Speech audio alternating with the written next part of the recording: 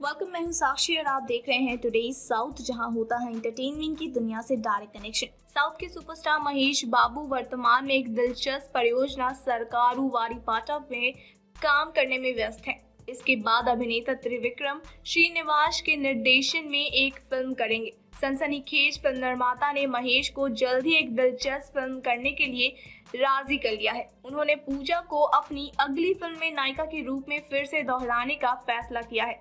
इससे पहले आला बैकुंठपुर मूडू में काम किया था। बता दें कि पूजा हेगड़े ने महेश बाबू के साथ फ़िल्म महर्षि में भी रोमांस किया था।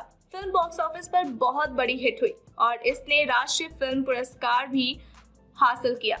अभिनेत्री वर्तमान में Radhe Shyam, most eligible bachelor और विजय के साथ एक तमिल फ़िल्म में व्यस्त है।